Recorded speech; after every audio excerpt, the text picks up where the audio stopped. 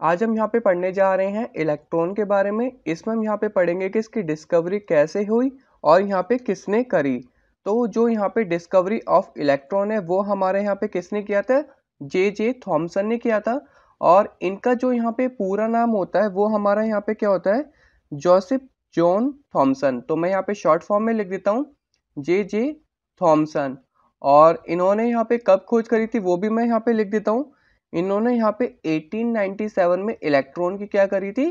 खोज करी थी। और यहाँ पे जो इन्होंने इलेक्ट्रॉन की खोज करी, वो यहाँ पे इस एक्सपेरिमेंट के ज़रिए करी, जो आपको यहाँ पे सामने डायग्राम में दिख रहा होगा। और इस डायग्राम को यहाँ पे क्या बोला जाता है? इस डायग्राम को यहाँ पे बोला जाता है डिस्चार्ज ट्यूब और इस एक्सपेरिमेंट को यहाँ पे क्या बोलेंगे? कैथोड रे डिस्चार्ज ट्यूब बोलेंगे। क्या बोलेंगे यहाँ पे? कैथोड रे डिस्चार्ज ट्यूब हमने इसमें कैथोड रे डिस्चार्ज ट्यूब इसलिए बोला क्योंकि जो यहाँ पे रेज ऑफ़ लाइट जाएगी, वो यहाँ पे कहाँ से जाएगी? कैथोड से एनोड की तरफ़ जाएगी। तो इसको हम यहाँ पे नॉर्मली क्या बोल सकते हैं? इसको हम यहाँ पे बोल सकते हैं, ये जो एक्सपेरिमेंट किया गया, वो कहाँ पर किया गया? कैथोड रे डिस्चार्ज ट्यूब में। तो मैं इसका यहाँ पे नाम लिख देता हूँ। ये हमारे यहाँ पे क्या है? कैथोड रे डिस्चार्ज ट्यूब तो आपको यहाँ पे पता होना चाहिए इसका नाम यहाँ पे कैथोड रे इसलिए रखा गया क्योंकि यहाँ पे जो रेज ऑफ़ लाइट निकलेगी वो यहाँ पे कैथोड से एनोड की तरफ़ निकलेगी अब देख लेते हैं यहाँ पे जो डिस्चार्ज ट्यूब है इसमें यहाँ पे क्या क्या चीज़ें होती हैं तो इसमें हमारा दो कार्बन रोड लगे होते हैं जिसको हम यहाँ पे कैथोड और एनोड बोलते हैं कैथोड पे हमारे यहाँ पे नेगेटिव चार्ज होता है और एनोड पे हमारा यहाँ पे पॉजिटिव चार्ज हो रहा है जैसे कि आपको यहाँ पे दिख रहा होगा और इसके अंदर यहाँ पे क्या होता है गैस प्रेजेंट होती है। हम चाहे तो यहाँ पे कोई सी भी गैस ले सकते हैं। नॉर्मली हम यहाँ पे हाइड्रोजन और मरकरी गैस लेते हैं। अब मैं यहाँ पे बात कर लेता हूँ, इस गैस को यहाँ पे क्या करेंगे वैक्यूम के ज़रिए इसके अंदर का जो प्रेशर है, वो यहाँ पे क्या कर लिया जाएगा, कम कर लिया जाएगा। क्योंकि कम प्रेशर में यहाँ पे क्या होगा, जो पार्टिकल्स होंगे, वो काफ़ी अच्छी तरीके से फ्लो कर पाएँगे। तो यहाँ पे क्या करा? वैक्यूम पंप के ज़रिए इसके अंदर का यहाँ पे क्या करा? प्रेशर कम कर दिया और इसको यहाँ पे एक हाई वोल्टेज जनरेटर से कनेक्ट कर दिया। हाई वोल्टेज जनरेटर से कनेक्ट करने से यहाँ पे होगा क्या? जो पार्टिकल्स है वो काफ़ी तेज़ी से यहाँ पे क्या होंगे? फ्लो करेंगे। जैसे ही हम यहाँ पे हाई वोल्टेज जनरेटर को कनेक्ट करते हैं, जो इसके अंदर के जो पार्टिकल्स है, वो यहाँ पे काफ़ी तेज़ी से किसकी तरफ़ जाएँगे? यहाँ पे एनोड की तरफ़ जाएँगे। क्योंकि जो यहाँ पे कैथोड है, उस पर यहाँ पे क्या होता है नेगेटिव चार्ज होता है। क्योंकि यहाँ पे जो नेगेटिव चार्ज है और पॉजिटिव चार्ज है, वो आपस में अट्रैक्ट होते हैं। इसलिए जो यहाँ पे कैथोड रेस की डायरेक्शन है, वो यहाँ पे क्या है, हमारा नेगेटिव टू पॉजिटिव साइड है। और यहाँ पे मैं आपको एक और चीज़ बताना चाहूँगा। तो जैसा कि आपको यहाँ पे डायग्राम में दिख रहा होगा कि यहाँ पे एक तरह की ग्रीन कलर की ग्लो जलेगी। और ये जो ग्रीन कलर की ग्लो जलेगी, वो यहाँ पे कैसे जलेगी, वो मैं आपको बता देता हूँ। तो हमें उसके लिए यहाँ पे क्या करना पड़ेगा उसके लिए हमें यहाँ पे एनोड पे यहाँ पे छोटे छोटे होल बनाने पड़ेंगे जब हम यहाँ पे छोटे छोटे होल बनाएँगे तो जो यहाँ पे कैथोड रेज है वो यहाँ पे क्या होंगे इससे पास करने लगेंगी एनोड से और जो पीछे यहाँ पे क्या होगी इसमें एक कोटिंग करनी पड़ेगी इसमें यहाँ पे हमें क्या करनी पड़ेगी किसकी कोटिंग करनी पड़ेगी जिंक सल्फाइड की या फ्लोरेसेंट की यहाँ पे कोटिंग करनी पड़ेगी कोटिंग की वजह से हमें यहाँ पे इस पे ग्लो नज़र आएगा और जो ग्लो होगा वो यहाँ पे किस कलर का होगा वो यहाँ पे ग्रीन कलर का ग्लो होगा वो किस वजह से हो पा रहा है क्योंकि यहाँ पे जो कैथोड रेज है वो यहाँ पे एनोड के पीछे यहाँ पे क्या हो रही है टकरा रही है और इस टकराव की वजह से यहाँ पे क्या होगा एक तरह का ग्लो जलेगा और वो ग्लो हमें यहाँ पे कोटिंग करने के बाद ही दिखाई देगा उससे पहले हमें यहाँ पे नहीं दिखाई देगा अगर हम यहाँ पे एनोड में यहाँ पे छेद नहीं करते हैं परफोरेटेड नहीं करते हैं तो यहाँ पे क्या होगा, बीच में एक तरह की यहाँ पे लाइट जलती हुई दिखाई देगी और वो भी हमें यहाँ पे ग्रीन कलर की लाइट जलती हुई दिखाई देगी। और अब हमें यहाँ पे पता कैसे चला, जो यहाँ पे कैथोड रेज है, वो यहाँ पे इलेक्ट्रॉन से बने हुए हैं। वो हमें यहाँ पे ऐसे पता चला, हमने इसके पास एक मैग्नेटिक फ़ील्ड रखी।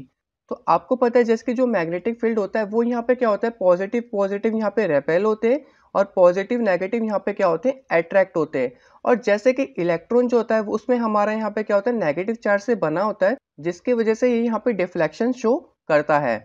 मान लो कि हमने यहाँ पे पॉजिटिव पॉजिटिव की डिफ्लेक्शन डाली तो यहाँ पे ये जो इलेक्ट्रॉन है, वो यहाँ पे नेगेटिव चार्ज है तो वो यहाँ पे क्या होंगे? इसके साइड मूव करने लगेंगे अट्रैक्ट होने लगेंगे। अगर हम यहाँ पे, अगर हम यहाँ पे पॉजिटिव की जगह अगर नेगेटिव नेगेटिव करते हैं तो ये यहाँ पे क्या होंगे रेपेल होंगे और यहाँ पे इस साइड बेंड होने लगेंगे और इस साइड की यहाँ पे क्या होगी डिफ्लेक्शन दिखाने लगेंगे तो होप आपको यहाँ पे डिस्कवरी ऑफ़ इलेक्ट्रॉन के बारे में पता चल गया होगा अब हम यहाँ पे बात कर लेते हैं इसके करेक्टरिस्टिक्स की तो करेक्टरिस्टिक्स मतलब यहाँ पे जो इलेक्ट्रॉन में यहाँ पे क्या विशेषताएँ होती हैं क्या खासियत होती हैं तो इसमें यहाँ पे दो विशेषताएँ होती हैं एक तो इसका यहाँ पे हमें पता होना चाहिए कि मास कितना होता है और जो इस पर यहाँ पे क्या होता है चार्ज कितना होता है तो सबसे पहले हम जो यहाँ पे बात करेंगे, इसके यहाँ पे मास की बात करेंगे तो यहाँ पे हम लिख लेते हैं मास ऑफ़ एन इलेक्ट्रॉन कि यहाँ पे इसका कितना मास होता है और हम इसको यहाँ पे कैसे लिखेंगे। तो जो यहाँ पे मास ऑफ़ एन इलेक्ट्रॉन होता है, वो यहाँ पे one upon one eight four zero times, one upon one eight four zero times of mass of hydrogen atom होता है। कितना होता है? One upon one eight four zero times of mass of hydrogen atom.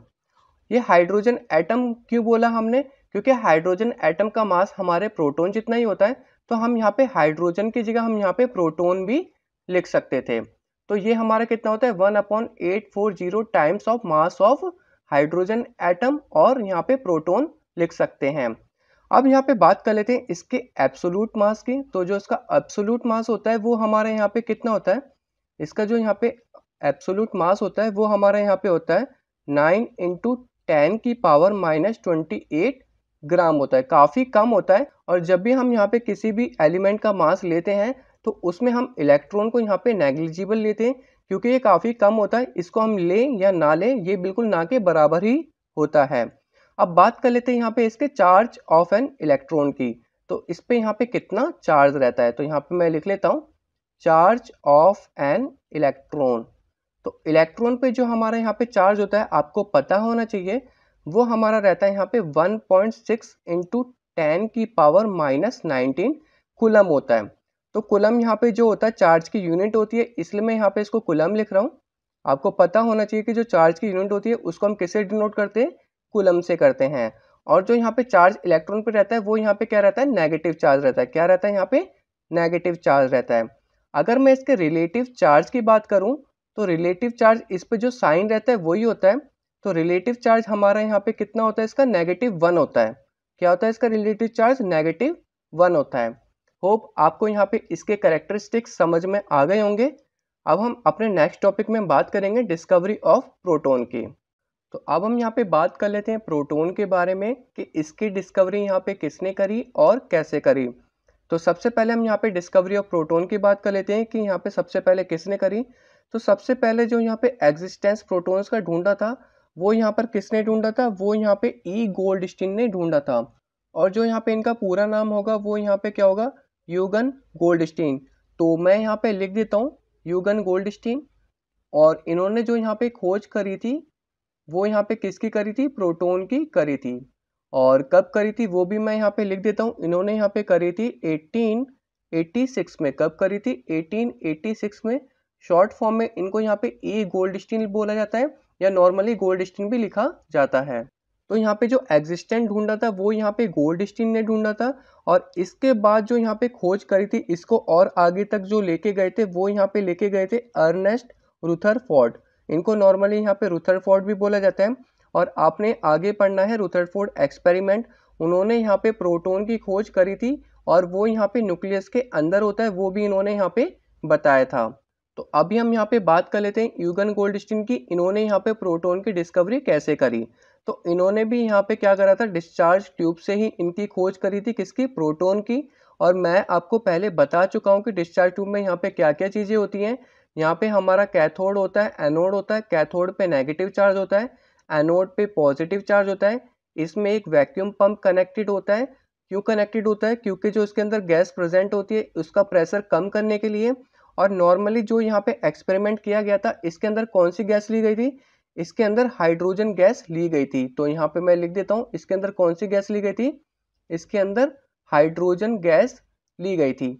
अब आगे होगा क्या? इसको मैं अच्छे से एक्सप्लेन कर देता हूँ। जैसे ही हम यहाँ पे हाई वोल्टेज जनरेटर को कनेक्ट करेंगे तो यहाँ पे होगा क्या? जैसे ही यहाँ पे कैथोड रेस का इलेक्ट्रॉन हाइड्रोजन गैस के इलेक्ट्रॉन से टकराएगा तो वो यहाँ पे क्या करेगा? हाइड्रोजन गैस के इलेक्ट्रॉन को वहाँ से रिमूव कर देगा और हाइड्रोजन गैस में सिर्फ़ क्या बचेगा? प्रोटोन बचेगा। और जैसे ही वो जो प्रोटोन बचेगा, वो यहाँ पे क्या होगा? कैथोड रेस की तरफ़ अट्रैक्ट होगा, क्योंकि आपको पता है जो पॉजिटिव चार्ज और नेगेटिव चार्ज है, वो आपस में क्या होते हैं? अट्रैक्ट होते हैं। इसलिए यहाँ पे एनोड रे से यहाँ पे आपको दिख रहा होगा कि जो पॉजिटिव पार्टिकल्स है, वो यहाँ पे किस साइड जा रहे हैं? वो हमारे यहाँ पे कैथोड साइड जा रहे हैं। और अगर मैं इसके पीछे यहाँ पे जिंक सल्फाइड की कोटिंग कर देता हूँ या फ्लोरोसेंट की कोटिंग कर देता हूँ तो इसके पीछे हमें यहाँ पे रेड ग्लो दिखाई देगा कोटिंग करने से पहले हमें यहाँ पे कैथोड में छोटे छोटे यहाँ पे क्या करने पड़ेंगे होल करने पड़ेंगे जिसकी वजह से जो यहाँ पे एनोड रेज है वो यहाँ पे इसमें पास कर पाए और पीछे यहाँ पे कोटिंग से टकरा के और वहाँ पे ग्लो दिखा पाए तो इसके यहाँ पे कोटिंग पे टकराने पे कौन सा ग्लो होगा यहाँ पे रेड ग्लो होगा और यहाँ पे होगा क्या जब हमने यहाँ पे इलेक्ट्रॉन की खोज करी थी तो वहाँ पे हो क्या रहा था? कैथोड से एनोड की तरफ़ रेस जा रही थी बट यहाँ पे इसके अपोजिट होगा। इसमें यहाँ पे एनोड से कैथोड की तरफ़ जाएँगी और हाइड्रोजन जो गैस का यहाँ पे क्या होता? प्रोटोन था, वो यहाँ पे कैथोड की साइड अट्रैक्ट होगा। अगर हम यहाँ पे कैथोड पे छोटे छोटे होल कर देते हैं तो जो वहाँ पे एनोड रेस जा रही थी, वो यहाँ पे रेड ग्लो दिखाएँगी। अगर हम यहाँ पे इसके पीछे कोटिंग कर देते हैं और इसके पीछे जो हम कोटिंग करेंगे, वो हम यहाँ पे किसकी करेंगे? जिंक सल्फाइड की करेंगे। किसकी करेंगे यहाँ पे? जिंक सल्फाइड की करेंगे। और कोटिंग करने से ही हमें यहाँ पे पता चलेगा कि यहाँ पे क्या हो रहा है? एनोड से कैथोड की तरफ़ कोई रे यहाँ पे जा रही है। अब हमें यहाँ पे पता कैसे चला कि ये जो यहाँ पे जा रहा है, वो यहाँ पे प्रोटोन है क्योंकि हमें पता है कि जो प्रोटोन है उस पर पॉजिटिव चार्ज होता है और अगर मैं यहाँ पे इसमें मैग्नेटिक फ़ील्ड इंट्रोड्यूस करवाता हूँ अगर मैं यहाँ पे पॉजिटिव चार्ज यहाँ पे इंट्रोड्यूस करवाता हूँ तो जो यहाँ पे एनोड रेज है वो यहाँ पे क्या होंगे रेपेल होंगे और यहाँ पे डाउनवर्ड डायरेक्शन में मूव करने लगेगी अगर मैं यहाँ पे पॉजिटिव की जगह नेगेटिव चार्ज इंट्रोड्यूस करवाता हूँ तो वो यहाँ पे क्या होंगे अट्रैक्ट होने लगेगी जिसकी वजह से हमें यहाँ पे पता चल जाएगा कि प्रोटोन पे यहाँ पे क्या होता है पॉजिटिव चार्ज होता है और वैसे अगर मैं यहाँ पे कोई भी मैग्नेटिक फ़ील्ड इंट्रोड्यूस नहीं करवाता हूँ, जो यहाँ पे एनोड रेज है, वो बिल्कुल स्ट्रेट लाइन में क्या करेंगी? फ्लो करेंगी। होप आपको यहाँ पे डिस्कवरी ऑफ़ प्रोटोन के बारे में समझ में आ गया होगा। अगर फिर भी कोई डाउट रह जाता है तो आप कमेंट सेक्शन में कमेंट कर सकते हैं। अब मैं यहाँ पे बात कर लेता हूँ इसके करेक्टरिस्टिक्स की, इसकी यहाँ पे क्या विशेषताएँ होती हैं। तो अब हम यहाँ पे बात कर लेते हैं करेक्टरिस्टिक्स ऑफ़ ए प्रोटोन की। तो इसमें यहाँ पे दो करेक्टरिस्टिक्स हैं, दो विशेषताएँ। एक तो हम यहाँ पे इसके मास की बात करेंगे और दूसरा हम यहाँ पे इसके चार्ज की बात करेंगे। तो सबसे पहले जो हम यहाँ पे बात करेंगे, वो इसके यहाँ पे किसकी बात करेंगे? मास की बात करेंगे। तो मैं यहाँ पे लिख लेता हूँ मास ऑफ़ आ प्रोटोन अब हमें यहाँ पे पता होना चाहिए कि प्रोटोन पे कितना मास होता है। तो मैं आपको यहाँ पे एक चीज़ बताना चाहूँगा, जो यहाँ पे प्रोटोन का मास होता है वो यहाँ पे हाइड्रोजन एटम के बराबर होता है। तो फ़र्स्ट पार्ट में हम यहाँ पे लिख सकते हैं mass of proton is equal to mass of hydrogen atom तो नॉर्मली मैं यहाँ पे लिख लेता हूँ mass of mass of proton किसके बराबर होता है यहाँ पे? हाइड्रोजन एटम के बराबर होता है। तो normally mass of proton equal to hydrogen atom क्योंकि जो हाइड्रोजन एटम होता है, इसमें यहाँ पे न्यूट्रॉन नहीं होता। इसमें सिर्फ़ इलेक्ट्रॉन और प्रोटोन होता है और वो भी सिंगल सिंगल होता है। तो इसलिए यहाँ पे mass of proton hydrogen atom के बराबर होगा। सेकंड जो पॉइंट है यहाँ पे, वो यहाँ पे जो मास ऑफ़ हाइड्रोजन एटम है, वो कितना होता है? वन एटॉमिक मास यूनिट के बराबर होता है। और इसका जो यहाँ पे रिलेटिव मास होगा, वो भी हमारा यहाँ पे क्या होगा? वन एटॉमिक मास यूनिट के बराबर होगा। तो नॉर्मली हम यहाँ पे लिख सकते हैं, इसका जो हमारा यहाँ पे रिलेटिव मास होता है इसका जो यहाँ पे रिलेटिव मास होता है प्रोटोन का, वो हमारे यहाँ पे क्या होता है? वन यू होता है। यू मतलब यहाँ पे इसको एम यू बोला गया है A M U atomic mass unit तो नॉर्मली शॉर्ट फॉर्म में हम इसको यहाँ पे क्या लिखते हैं? वन यू लिखते हैं। और हमने यहाँ पे जब मास ऑफ़ यहाँ पे इलेक्ट्रॉन में पढ़ा था तो वो यहाँ पे क्या था? One upon one eight four zero times of hydrogen atom और यहाँ पे प्रोटोन के बराबर था। तो इसका मतलब यहाँ पे प्रोटोन क्या होगा? One eight four zero times larger होगा इलेक्ट्रॉन से। तो हम यहाँ पे लिख सकते हैं proton is proton is 1840 times 1840 times of electron.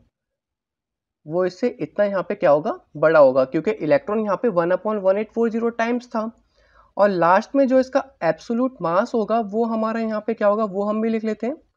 इसका जो यहाँ पे एब्सोल्यूट मास होगा, वो हमारा यहाँ पे होगा 1.6 पॉइंट सिक्स इंटू टेन की power minus twenty four gram होगा।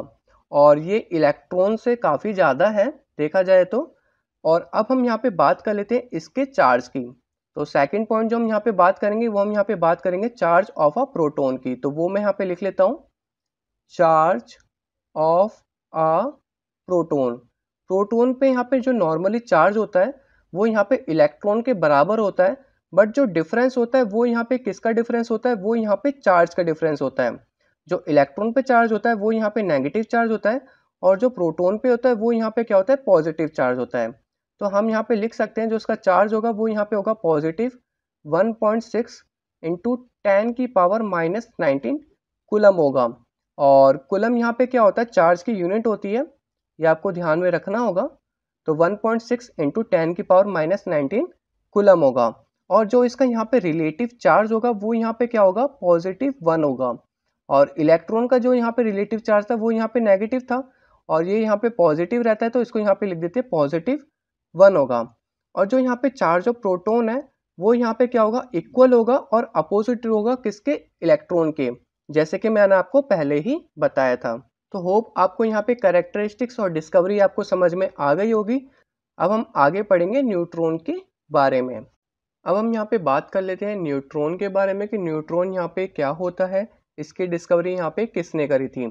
तो इसकी जो यहाँ पे डिस्कवरी हुई थी, वो यहाँ पे एलिमेंट्स के जो यहाँ पे मास लेने की वजह से हो पाई थी। तो यहाँ पे एक ऐसा हाइड्रोजन एलिमेंट है जहाँ पे क्या होता है न्यूट्रॉन प्रेजेंट नहीं होता। बाकी एलिमेंट्स में यहाँ पे न्यूट्रॉन प्रेजेंट होता है। और मैं यहाँ पे बात करूँ अगर हाइड्रोजन के एटॉमिक मास की तो वो यहाँ पे प्रोटोन के बराबर होता है। और बाकी एलिमेंट्स के अगर एटॉमिक मास की बात करूँ तो वो यहाँ पे क्या होता है? Sum of neutron plus proton होता है। तो यहाँ पे बाकी एलिमेंट के मास को कैलकुलेट करते करते यहाँ पे न्यूट्रॉन की खोज हुई थी। तो अगर मैं यहाँ पे जैसे कि इसको एग्ज़ाम्पल से समझेंगे जैसे कि अगर मैं यहाँ पे बात करता हूँ कार्बन एटम की इसकी बात करता हूँ यहाँ पे? कार्बन एटम की। कार्बन एटम का जो यहाँ पे एटॉमिक नंबर होता है, वो यहाँ पे क्या होता है? सिक्स होता है। क्या होता है इसका? एटॉमिक नंबर सिक्स होता है। इसका मतलब यहाँ पे जो प्रोटोन प्रेजेंट होगा, वो यहाँ पे क्या होगा? सिक्स प्रोटोन प्रेजेंट होगा। और जो यहाँ पे इलेक्ट्रॉन भी प्रेजेंट होंगे, वो भी यहाँ पे क्या होंगे? सिक्स इलेक्ट्रॉन ही प्रेजेंट होंगे। बट इलेक्ट्रॉन का जो मास होता है, वो यहाँ पे नेग्लिजिबल होता है। उसको हम यहाँ पे लेते ही नहीं है, क्या? इसको हम यहाँ पे नहीं लेते तो इसको यहाँ पे लिख लेते हैं। ये हमारा क्या होता है? नेग्लिजिबल होता है। इसको हम नहीं लेते। और वैसे एक्चुअल में देखा जाए तो कार्बन एटम का जो एटॉमिक मास होता है, वो यहाँ पे क्या होता है? ट्वेल्व एटॉमिक मास यूनिट होता है। तो इसका यहाँ पे एटॉमिक मास 12 ए हुआ कैसे? तो इसको यहाँ पे पता करने के लिए इसकी खोज किसने करी?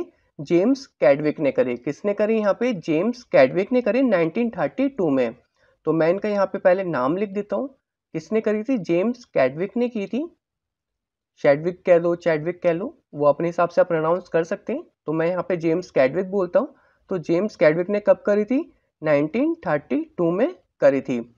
और जो यहाँ पे ये न्यूट्रॉन की खोज कर पाए थे, वो यहाँ पे एटॉमिक मास निकालने की वजह से ही कर पाए थे। अब यहाँ पे जैसे कि बात कर रहे थे हम कार्बन एटम की तो कार्बन एटम में यहाँ पे छः प्रोटोन होते हैं छः इलेक्ट्रॉन होते हैं, बट इसका जो एटॉमिक मास होता है वो यहाँ पे ट्वेल्व होता है। वो यहाँ पे किस वजह से होता है?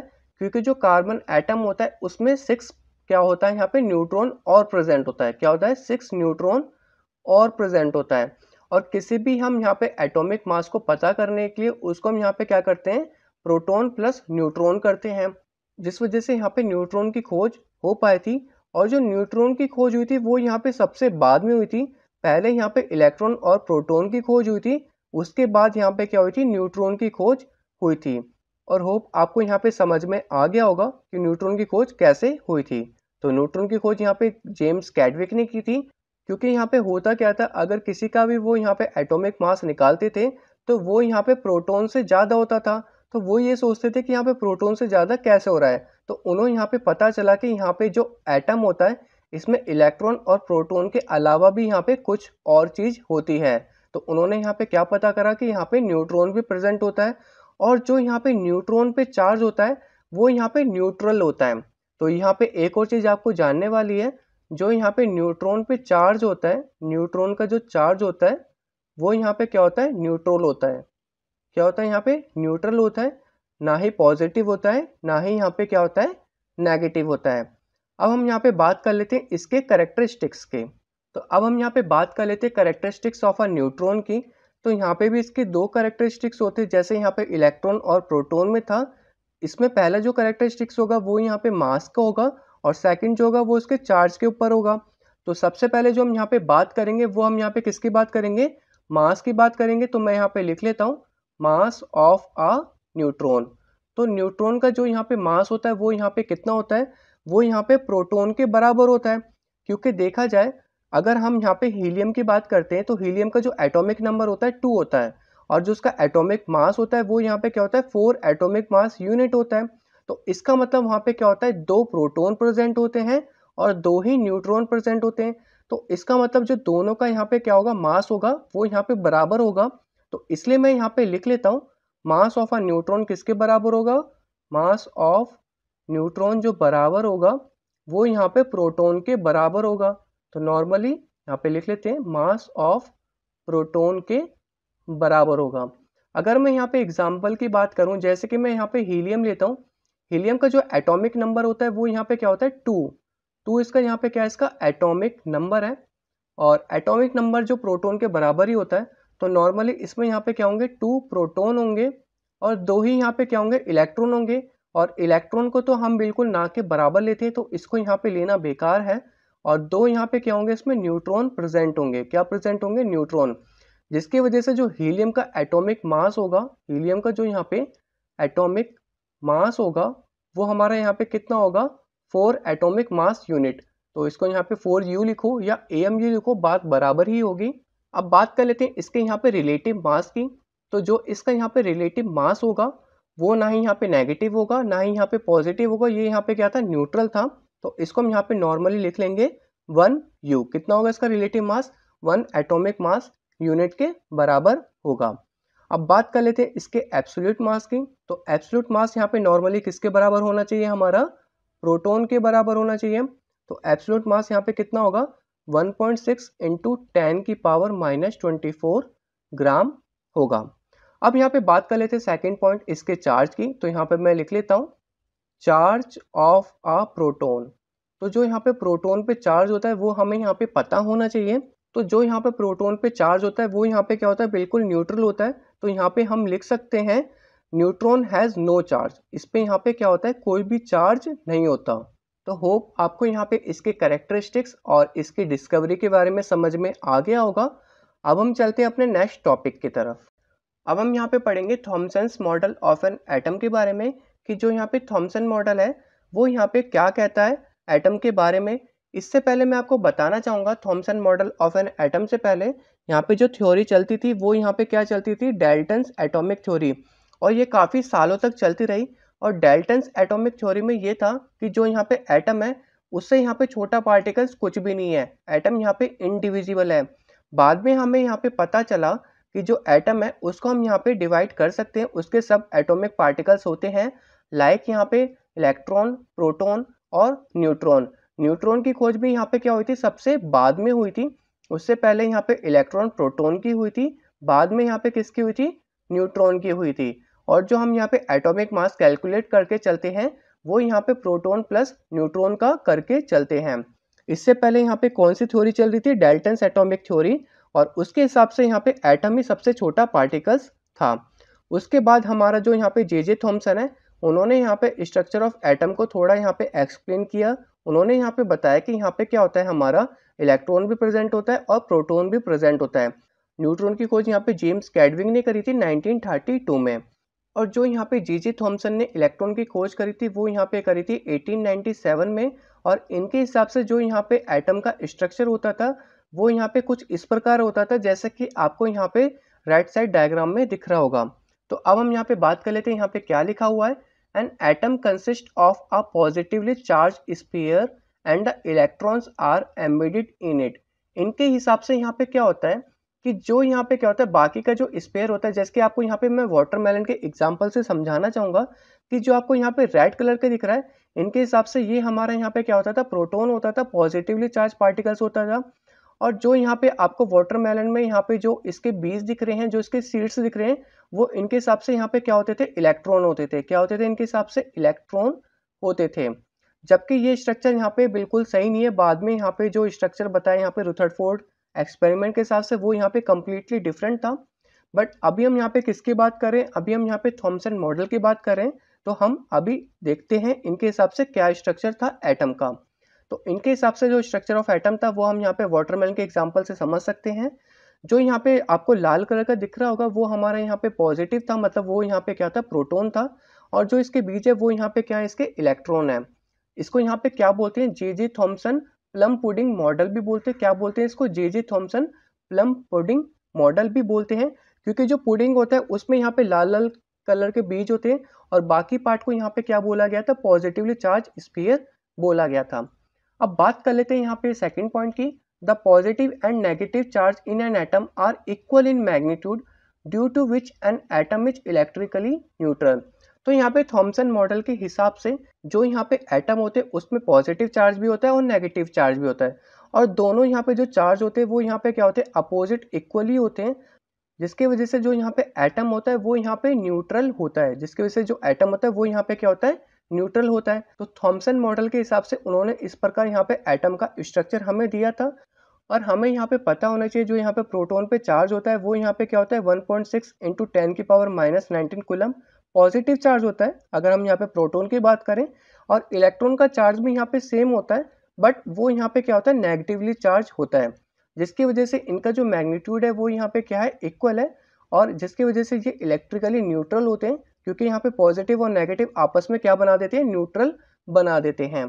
होप आपको यहाँ पे Thomson model of an atom के बारे में समझ में आ गया होगा, अगर फिर भी कोई परेशानी रह जाती है तो आप मुझे कमेंट करके बता सकते हैं। अब हम यहाँ पे बात कर लेते हैं आगे रुथरफोर्ड्स मॉडल की अब जो हम यहाँ पे पढ़ने जा रहे हैं वो है हमारा यहाँ पे रुथरफोर्ड्स एक्सपेरिमेंट के बारे में रुथरफोर्ड एक्सपेरिमेंट से ही हमें यहाँ पे पता चला था कि जो यहाँ पे एटम होता है उसके बीच में यहाँ पे क्या होता है न्यूक्लियस प्रेजेंट होता है तो रुथरफोर्ड एक्सपेरिमेंट को हम यहाँ पे डिस्कवरी ऑफ़ न्यूक्लियस बोले तो यहाँ पे कोई गलत बात नहीं होगी तो हम यहाँ पे इसको लिख लेते हैं डिस्कवरी ऑफ़ न्यूक्लियस क्योंकि यहाँ पे न्यूक्लियस की खोज यहाँ पे रुथरफोर्ड एक्सपेरिमेंट के वजह से ही हो पाई थी तो यहाँ पे हम लिख लेते हैं डिस्कवरी ऑफ़ न्यूक्लियस इससे पहले हमें यहाँ पे पता होना चाहिए, जो आपको यहाँ पे दिख रहा होगा अल्फ़ा पार्टिकल्स ये अल्फ़ा पार्टिकल्स एक्चुअली में होते क्या हैं? आपको यहाँ पे दो पॉजिटिव चार्ज दिख रहे होंगे सब में। तो जो अल्फ़ा पार्टिकल्स होते हैं, वो यहाँ पे क्या होते हैं? पॉजिटिवली चार्ज पार्टिकल्स होते हैं, जिसमें जिसमें यहाँ पे क्या होता है? Two units of positive charge होते हैं या टू यूनिट्स ऑफ़ प्रोटोन होते हैं प्लस टू यूनिट्स ऑफ़ यहाँ पे क्या होते हैं? न्यूट्रॉन होते हैं। क्या होते हैं? टू यूनिट्स ऑफ़ न्यूट्रॉन और एक तरह से यहाँ पे जो अल्फ़ा पार्टिकल्स दिख रहे हैं, ये हमारे किसके हैं? हीलियम के हैं। हीलियम ही यहाँ पे एक ऐसा एलिमेंट है जहाँ पे two proton plus two neutron present होते हैं। और जैसे कि आपको यहाँ पे दो पॉजिटिव चार्ज दिख रहे हैं, वो यहाँ पे हीलियम की वजह से ही दिख रहे हैं। और अल्फ़ा पार्टिकल्स में हम यहाँ पे हीलियम को ही यूज़ करेंगे। या कह सकते हैं जो रूथरफोर्ड का एक्सपेरिमेंट है, हमने यहाँ पे अल्फ़ा पार्टिकल जो लिया है, वो यहाँ पे हीलियम का लिया है।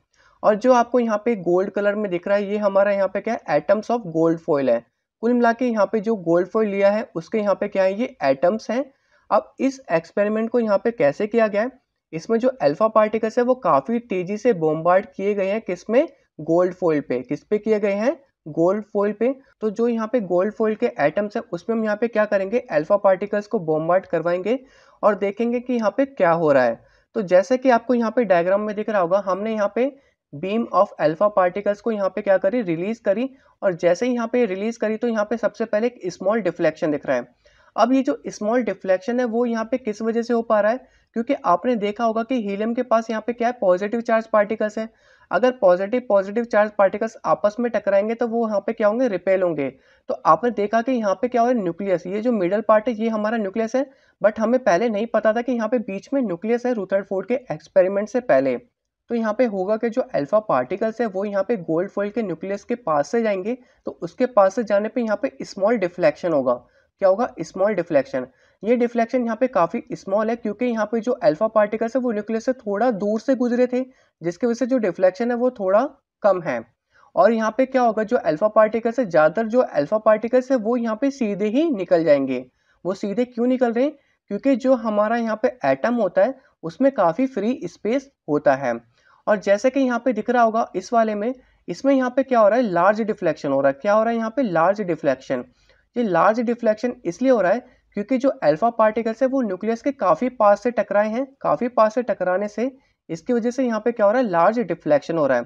और कुछ अल्फ़ा पार्टिकल्स ऐसे होंगे जो यहाँ पे बिल्कुल न्यूक्लियस के बीचों बीच टकराएँगे और वो वापसी यहाँ पे बैक हो जाएँगे। क्या होंगे? टर्न बैक जैसे कि आपको यहाँ पे दिख रहा होगा। और यहाँ पे ज़्यादातर जो अल्फ़ा पार्टिकल्स है वो यहाँ पे सीधे ही निकल जा रहे हैं तो इन सबसे हमें यहाँ पे क्या कंक्लूजन मिला वो हम यहाँ पे देख लेते हैं सबसे पहला जो हमें यहाँ पे कंक्लूजन मिला कि जो यहाँ पे न्यूक्लियस है वो यहाँ पे क्या है पॉजिटिवली चार्ज है कैसे पता चला क्योंकि पॉजिटिव पॉजिटिव चार्ज यहाँ पे क्या होते हैं रेपेल होते हैं जिसकी वजह से यहाँ पे डिफ्लेक्शन सो रहा है तो हम यहाँ पे लिख सकते हैं जो यहाँ पे मिडल में जो हमारा न्यूक्लियस है यहाँ पे न्यूक्लियस ऑफ़ एन एटम लिख सकते हैं। Nucleus of an atom nucleus of an atom is positive is positive charge कैसे पता चला ये पॉजिटिव चार्ज है? क्योंकि यहाँ पे डिफ्लेक्शन सो रहा है और डिफ्लेक्शन जब ही से होगा, जब यहाँ पे पॉजिटिव पॉजिटिव चार्ज आपस में टकराएँगे, क्योंकि फराडेज लॉ के हिसाब से जो पॉजिटिव पॉजिटिव चार्ज होते हैं, वो यहाँ पे रिपेल करते हैं पॉजिटिव नेगेटिव अट्रैक्ट करते हैं और नेगेटिव नेगेटिव यहाँ पे क्या होते हैं? रेपेल होते हैं। अब सेकंड जो हमें यहाँ पे कंक्लूजन मिला, वो यहाँ पे ये मिला कि जो न्यूक्लियस है वो काफ़ी डेंस है। मतलब इसमें यहाँ पे कोई होल नहीं है, क्योंकि यहाँ पे क्या हो जब बीच में अल्फ़ा पार्टिकल्स टकराए तो वो बिल्कुल वापसी आ गया। वापसी आने की वजह से हमें यहाँ पे पता चला, जो न्यूक्लियस है वो यहाँ पे क्या है, काफ़ी डेंस है और हार्ड है। तो यहाँ पे हम लिख सकते हैं वेरी डेंस एंड हार्ड ये इसका यहाँ पे कंक्लूजन है, या एक चीज़ आप लिख सकते हैं, यहाँ पे रुथरफोर्ड अल्फ़ा पार्टिकल से हमें ये सारी चीज़ें पता चली। अब यहाँ पे बात कर लेते थर्ड पॉइंट की जो तीसरा यहाँ पे हमें कंक्लूजन मिला कि जो न्यूक्लियस ऑफ़ एन एटम है वो यहाँ पे क्या है काफ़ी स्मॉल है जो यहाँ पे न्यूक्लियस है वो यहाँ पे क्या है काफ़ी स्मॉल है तो यहाँ पे हम लिख सकते हैं nucleus of an atom is very small कैसे पता चला कि यहाँ पे काफ़ी स्मॉल है जो यहाँ पे न्यूक्लियस है क्योंकि यहाँ पे ज़्यादातर जो अल्फ़ा पार्टिकल्स है वो यहाँ पे सीधे निकल जा रहे हैं बिना न्यूक्लियस से टकराए तो इससे हमें यहाँ पे पता चलता है कि न्यूक्लियस यहाँ पे काफ़ी छोटा है और जो एटम है वो काफ़ी बड़ा है और इन दोनों के बीच में काफ़ी फ्री स्पेस है। तो इससे हमें यहाँ पे पता चलता है, जो यहाँ पे एटम का जो न्यूक्लियस है वो यहाँ पे क्या है? काफ़ी छोटा है। होप आपको यहाँ पे रुथरफोर्ड्स एक्सपेरिमेंट के बारे में समझ में आ गया होगा। अगर फिर भी कोई प्रॉब्लम रह जाती है तो मुझे कमेंट सेक्शन में कमेंट कर सकते हैं। अब हम यहाँ पे बात कर लेते हैं इसके नेक्स्ट टॉपिक की। अब हम यहाँ पे बात कर लेते हैं Rutherford's model of an atom की। इससे पहले हमने यहाँ पे थॉमसन मॉडल पढ़ा था। और थॉमसन मॉडल में हमने यहाँ पे क्या पढ़ा था? उसके यहाँ पे स्ट्रक्चर जो पढ़ा था, वो यहाँ पे बिल्कुल वाटरमेलन के स्ट्रक्चर जैसा होता था। बट रुथरफोर्ड मॉडल्स के हिसाब से जो इसका स्ट्रक्चर होता है, वो यहाँ पे बिल्कुल कम्प्लीटली डिफरेंट होता है। इसके बारे में हम यहाँ पे पढ़ लेते हैं। An atom consists of a positively charge dense and very small nucleus containing all the protons and neutrons ये हमें कैसे पता चला? हमने यहाँ पे रुथरफोर्ड्स एक्सपेरिमेंट किया था, जहाँ पे हमने गोल्ड फॉइल लिया था और उसमें हमने अल्फ़ा पार्टिकल्स बॉम्बार्ड करवाए थे, जिससे हमें यहाँ पे पता चला कि जो हमारा एटम है, उसमें न्यूक्लियस प्रेजेंट होता है और वो भी पॉजिटिवली चार्ज होता है। पॉजिटिव चार्ज जो होता है, वो यहाँ पे न्यूक्लियस में प्रोटोन के प्रेजेंस की वजह से होता है। वो भी हमें यहाँ पे पता होना चाहिए। वही बात यहाँ पे बोली गई है कि जो एटम है, वो यहाँ पे क्या है पॉजिटिवली चार्ज है डेंस है, काफ़ी घना है और उसका जो न्यूक्लियस है, वो यहाँ पे काफ़ी छोटा है। हमें कैसे पता है जो उसका न्यूक्लियस है, काफ़ी छोटा है? क्योंकि वहाँ पे जो एक्सपेरिमेंट किया था, उसके जो अल्फ़ा पार्टिकल्स थे, वो यहाँ पे ज़्यादातर अल्फ़ा पार्टिकल्स स्ट्रेट चले जा रहे थे, वो न्यूक्लियस से यहाँ पे नहीं टकरा रहे थे। तो जिससे हमें पता चला कि जो न्यूक्लियस है, वो यहाँ पे काफ़ी छोटा है और डेंस है। अब देखते हैं यहाँ पे सेकेंड पॉइंट में क्या लिखा हुआ है। The nucleus is surrounded by negatively charge electrons जो यहाँ पे न्यूक्लियस होता है, वो यहाँ पे किसके सराउंड होता है? वो यहाँ पे नेगेटिवली चार्ज इलेक्ट्रॉन्स के सराउंड होता है। जैसे कि आपको यहाँ पे डायग्राम में दिख रहा होगा बीच में हमारा यहाँ पे क्या है? न्यूक्लियस है और इसके यहाँ पे ऑर्बिट में क्या घूम रहा है? इलेक्ट्रॉन मूव कर रहा है। क्या मूव कर रहा है? इलेक्ट्रॉन मूव कर रहा है। ये हमारा रुथरफोर्ड मॉडल्स के स्ट्रक्चर के हिसाब से है। अब यहाँ पे बात कर लेते हैं third point The electrostatic attraction between the positively charge nucleus and negatively charge electrons hold the atom together. अब यहाँ पे होगा क्या? जो यहाँ पे न्यूक्लियस है, वो यहाँ पे क्या है? पॉजिटिवली चार्ज है। और जो यहाँ पे इलेक्ट्रॉन है वो हमारे यहाँ पे क्या है नेगेटिव चार्ज है और ये दोनों आपस में एक दूसरे को अट्रैक्ट करते हैं जिसके वजह से ये यहाँ पे एक तरह का एटम बना पा रहे हैं और ये यहाँ पे कोलैप्स नहीं हो रहे हैं और जो यहाँ पे फोर्थ पॉइंट है वो यहाँ पे क्या बोल रहा है an atom is electrically neutral वो यहाँ पे न्यूट्रल किस वजह से क्योंकि यहाँ पे जो पॉजिटिव चार्ज है और नेगेटिव चार्ज है वो आपस में यहाँ पे क्या हो रहे हैं कैंसिल आउट हो रहे हैं और यहाँ पे क्या बना रहे हैं न्यूट्रल बना रहे हैं क्या बना रहे हैं एटम को न्यूट्रल बना रहे हैं most of the atom is empty space. ये हमें यहाँ पे कैसे पता चला जो एटम बना हुआ है, उसमें काफ़ी ज़्यादा स्पेस है। वो हमें यहाँ पे रुथरफोर्ड्स एक्सपेरिमेंट की वजह से पता चला, क्योंकि यहाँ पे जो काफ़ी अल्फ़ा पार्टिकल्स थे, वो यहाँ पे सीधे गुजर जा रहे थे, बिना यहाँ पे मिडल पार्ट न्यूक्लियस से टकराए हुए। जिससे हमें यहाँ पे पता चलता था कि न्यूक्लियस काफ़ी छोटा है और बीच में यहाँ पे काफ़ी ज़्यादा फ्री स्पेस है। तो इसलिए यहाँ पे हमें लिखा हुआ है most of the atom is empty space और अगर मैं यहाँ पे इसको सिंपल स्ट्रक्चर में डिफाइन करना चाहूँ तो बीच में हमारा यहाँ पे क्या होता है? प्रोटोन होता है, जिसपे पॉजिटिवली चार्ज होता है। इसको हम यहाँ पे न्यूक्लियस भी बोलते हैं और यहाँ पे इस पे क्या होता है? साइड में इलेक्ट्रॉन रिवॉल्व कर रहा होता है। क्या होता है? यहाँ पे इलेक्ट्रॉन इसके ऑर्बिट में घूम रहा होता है। तो ये हमारे यहाँ पे क्या है? इलेक्ट्रॉन है। ये हमारे यहाँ पे क्या है? इलेक्ट्रॉन है। और ये हमारे यहाँ पे क्या है? न्यूक्लियस है, जिसमें पॉजिटिवली चार्ज है। तो नॉर्मली मैं इसको यहाँ पे न्यूक्लियस लिख देता हूँ, ठीक है? ये हमारा किसका ये हमारा, मान लो कि ये हमारा हाइड्रोजन एटम का है। ये आपको दिख रहा होगा, ये हमारा किसका है? हाइड्रोजन एटम का। क्योंकि हाइड्रोजन एटम में एक प्रोटोन होते हैं और एक इलेक्ट्रॉन होते हैं। सेम डायग्राम अगर मैं यहाँ पे हीलियम का बनाना चाहूँ तो हीलियम में यहाँ पे क्या होंगे? टू प्रोटोन होंगे और यहाँ पे क्या होंगे? टू नंबर में न्यूट्रॉन होंगे और ये हमारा बीच का क्या बनेगा? न्यूक्लियस बनेगा। और साइड में यहाँ पे दो इलेक्ट्रॉन रिवॉल्व करेंगे। क्या होंगे? दो इलेक्ट्रॉन रिवॉल्व करेंगे। और ये जो मैं बना रहा हूँ, ये किसका बना रहा हूँ? ये हमारा हीलियम का बन रहा है। क्योंकि हीलियम में यहाँ पे न्यूट्रॉन प्रेजेंट होता है, बट यहाँ पे प्रोटोन में नहीं होता। तो ये आपको ध्यान में रखना होगा। तो ये सब डायग्राम से आपको समझ में आ गया होगा कि रिथरफोर्ड मॉडल्स ने यहाँ पे किस हिसाब से एटम का स्ट्रक्चर दिया था। अब हम चलते हैं इसके ड्रॉबैक्स की तरफ़। अब बात कर लेते हैं यहाँ पे drawback of Rutherford's model of the atom. तो इसके यहाँ पे क्या क्या ड्रॉबैक्स हैं? तो सबसे जो मेजर ड्रॉबैक है यहाँ पे रुथरफोर्ड मेडल का, इन्होंने यहाँ पे एटम की स्टेबिलिटी के बारे में डिफाइन नहीं किया गया।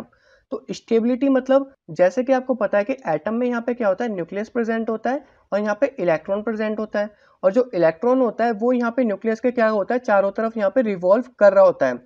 अगर हम यहाँ पे इलेक्ट्रोमैग्नेटिक थ्योरी ऑफ़ फिजिक्स के हिसाब से चले, कोई भी जो यहाँ पे चार्ज पार्टिकल्स है, अगर वो यहाँ पे मोशन में है तो वो यहाँ पे क्या करेगा अपनी एनर्जी को यहाँ पे क्या करेगा लगातार लूज करेगा लगातार जो उसकी एनर्जी वो यहाँ पे क्या होगी खत्म होती रहेगी जैसे कि अगर मैं यहाँ पे एटम की बात करूँ तो एटम में यहाँ पे क्या होता है न्यूक्लियस के अराउंड यहाँ पे इलेक्ट्रॉन रिवॉल्व करता है अपने ऑर्बिट में तो इलेक्ट्रॉन जो यहाँ पे रिवॉल्व करता है वो यहाँ पे धीरे धीरे एनर्जी लूज करेगा और जो यहाँ पे न्यूक्लियस है वो इसको यहाँ पे क्या करेगा अट्रैक्ट करेगा अपने पास क्योंकि यहाँ पे फराडेज लो के हिसाब से जो पॉजिटिव चार्ज पार्टिकल्स और जो नेगेटिव चार्ज होते हैं, वो यहाँ पे आपस में अट्रैक्ट करते हैं। जैसे ही यहाँ पे क्या होगा इलेक्ट्रॉन अपनी एनर्जी लूज करेगा तो वो धीरे धीरे क्या करेगा अट्रैक्ट होता होता वो यहाँ पे क्या होगा न्यूक्लियस की तरफ़ आएगा और ये यहाँ पे कोलैप्स होकर जो एटम है, वो यहाँ पे खत्म हो जाएँगे। जबकि ऐसा नहीं होता। जैसे कि आपको यहाँ पे डायग्राम में दिख रहा होगा, ये यहाँ पे ऐसे गोल गोल घूमेगा और एक ऐसा समय आएगा जो यहाँ पे न्यूक्लियस से टकराएगा और ये यहाँ पे क्या होगा? खत्म हो जाएगा। जबकि ऐसा नहीं होता है तो इसके हिसाब से ये इसका यहाँ पे क्या होगा? ड्रॉबैक होगा। और इसकी जो यहाँ पे स्टेबिलिटी है, वो यहाँ पे नील बोहन ने बताया कि इसकी स्टेबिलिटी कैसी है बट ये यहाँ पे रुथरफोर्ड ने नहीं बताया तो ये इसका यहाँ पे क्या होगा? ड्रॉबैक होगा। होप आपको ये समझ में आ गया होगा। अब हम चलते हैं अपने नेक्स्ट टॉपिक की तरफ़। अब जो हम यहाँ पे पढ़ने जा रहे हैं, वो है हमारे यहाँ पे Bohr's model of atom Bohr model यहाँ पे एक तरह से नील बोहर भी बोला जाता है। अब हम यहाँ पे बात करेंगे इस यहाँ पे जो मॉडल था इसमें इन्होंने यहाँ पे क्या क्या चीज़ें बताई थी तो इस एटम में यहाँ पे तीन पार्टिकल्स होंगे इलेक्ट्रॉन प्रोटॉन्स एंड न्यूट्रॉन्स इसको यहाँ पे तीन सब एटॉमिक पार्टिकल्स बोल सकते हैं तो मैं यहाँ पे लिख देता हूँ सबसे पहले जो इन्होंने यहाँ पे बताया था यहाँ पे बताया था कि जो यहाँ पे जो एटम है वो यहाँ पे तीन सब एटॉमिक पार्टिकल से बने हैं तो मैं यहाँ पे लिख देता हूँ three subatomic particles three subatomic particles वो आपको यहाँ पे पता होना चाहिए वो कौन कौन से पार्टिकल्स थे एक तो हमारे यहाँ पे क्या था एक हमारे यहाँ पे इलेक्ट्रॉन है second one is proton second one is यहाँ पे क्या है हमारा प्रोटोन है एंड लास्ट वन इज़ हमारा यहाँ पे क्या होगा न्यूट्रॉन होगा क्या होगा यहाँ पे न्यूट्रॉन होगा सेकंड चीज़ जो यहाँ पे इन्होंने बताई थी वो हमारे यहाँ पे क्या बताई थी जो यहाँ पे प्रोटोन है और जो यहाँ पे न्यूट्रॉन है दोनों ही यहाँ पे क्या होंगे एक छोटे से न्यूक्लियस में होंगे और वो न्यूक्लियस यहाँ पे एटम के सेंटर में होगा। जैसे कि आपको यहाँ पे दिख रहा होगा डायग्राम में, ये हमारे यहाँ पे क्या है? न्यूक्लियस है। और इसी न्यूक्लियस में यहाँ पे हमारा क्या होगा? प्रोटॉन भी प्रेजेंट होगा और यहाँ पे न्यूट्रॉन भी प्रेजेंट होगा। तो हम यहाँ पे लिख सकते हैं protons and neutrons are located protons protons and neutrons are located are located are located in nucleus लिख देता हूँ सिंपल। आप चाहे तो स्मॉल न्यूक्लियस लिख सकते हो या सेंटर ऑफ़ द एटम लिख सकते हो। तो मैं यहाँ सिंपल लिख देता हूँ, protons and neutrons are located in nucleus. ठीक है? और यहाँ पे आप लिख सकते हैं, at the centre of the atom भी। अब मैं यहाँ पे बात कर लेता हूँ इसके थर्ड पॉइंट की। जो यहाँ पे इलेक्ट्रॉन्स होता है, वो अपने फिक्स्ड ऑर्बिट में यहाँ पे क्या करता है? मूव करता है। और उस फिक्स्ड सर्कुलर पाथ को यहाँ पे क्या बोला जाता है? एनर्जी लेवल बोला जाता है या शेल बोला जाता है। जैसे कि आपको यहाँ पे दिख रहा होगा, ये हमारा यहाँ पे क्या है? एनर्जी लेवल्स दिख रहा है आपको डायग्राम में। इसको यहाँ पे वही बोला जाता है। तो मैं यहाँ पे लिख लेता हूँ, जो इलेक्ट्रॉन्स रिवॉल्व करता है।